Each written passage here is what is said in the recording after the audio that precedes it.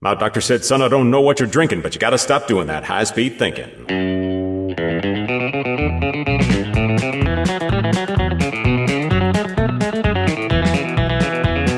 Started in college just before an exam. My brain's overheating in a mental jam. That coffee was going down real smooth. Got all them neurons starting to move. Followed it up with a jolt or two. Heart was racing, blood was too. Answers were coming hard and fast. Not sure how long that buzz would last. Had a monster stuck to both my hands. Five hour energy joined the band. Was writing so fast that pen got tired. The page below just caught fire. Well, I put that test in the rearview mirror. My life ahead was filled with terror. Only one cure would ease my core. I had to go get more, more, more.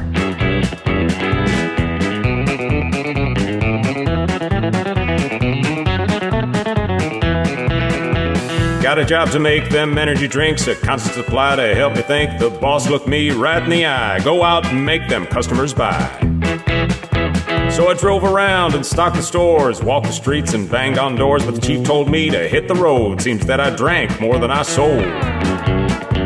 I started a company in my garage, mixed up some stuff with an entourage. We sold it north, we sold it south. Them folks wanted more in their mouth.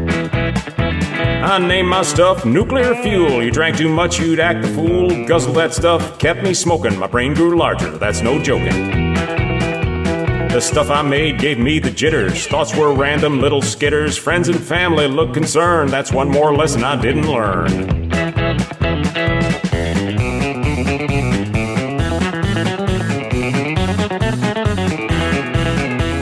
I felt myself expanded space, mind and body not held in place. Shot straight out away from Earth. I was the soul of my own rebirth.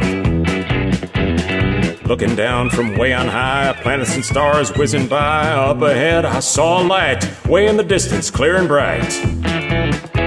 Inside that light, well, I met God. He looked at me like I was odd. It only took a flick of his hand to send me back down to the earthly land. Well, it landed me in a hospital ward without my juice. I just got bored. My doctor said, son, I don't know what you're drinking, but you gotta stop doing that high speed thinking.